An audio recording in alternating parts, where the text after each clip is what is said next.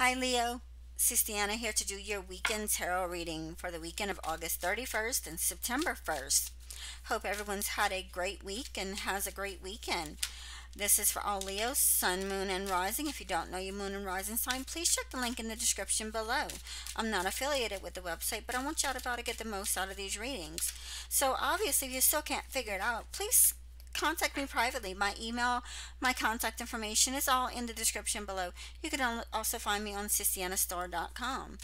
And please like, share, and subscribe and hit the bell icon when you do so you can be notified when I upload new content.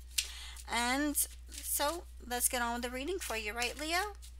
What does Leo need to know for the weekend of August 31st and September 1st?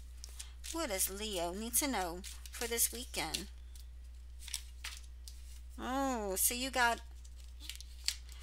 a victory that you're heading for. Like you gathered your swords and you're like, yeah, you know what? I'm good. And oh yeah, the judgment. So somebody's tooting their horn. Somebody is boasting. Somebody has a karmic cycle ending. Um, it's also like the energy of your whistleblowing kind of feeling. Like somebody is turning somebody in. And then you got the world. Wow, Leo. Underlying energy is the Emperor, possibly dealing with your father, father figure, the universe, or an Aries. So you got some big energy, Leo. Wow.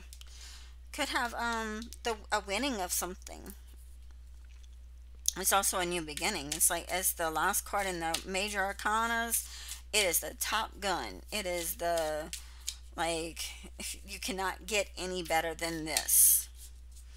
So, what's the um why is the 5 of swords here for Leo?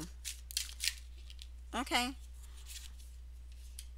So, you have you have won, you have everything because you have a happy home. Ain't that beautiful? What about the judgment? Why is judgment here for Leo?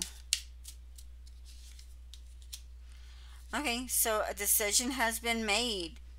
And it's a so a karmic cycle is ending and you've made your decision. You've you've decided or you have a decision to make about this um this karmic cycle ending or this blast from the past, something from your past coming back into your life. What about the world? What's the world here for Leo? Okay, so you got the world with the world. You got a brand new beginning coming at you. Underlying energy is the Queen of Rods. So this is a fire sign individual, either Leo, Aries, or Sagittarius. And she's very in control over everything. Like, she just has her her things together. She has her her world straight. She has her world straight. Her she has everything completed.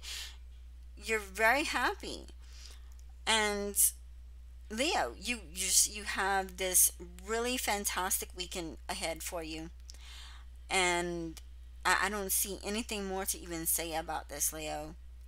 Um, this is all because of this energy here, either your father figure, your protector, your the universe even, and you yourself possibly Leo being that controlling person or that that person that just has their plan, has their like I'm going this way and this is what I want.